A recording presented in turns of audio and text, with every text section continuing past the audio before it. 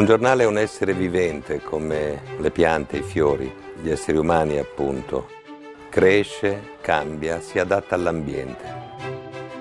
In questo momento, con un vento forte che spira in Italia e va a minare alcuni dei pilastri fondamentali della nostra comunità, Repubblica rappresenta una casa comune, democratica, dove ritrovarsi e scambiare opinioni, confrontarsi e soprattutto dove avere informazioni di qualità.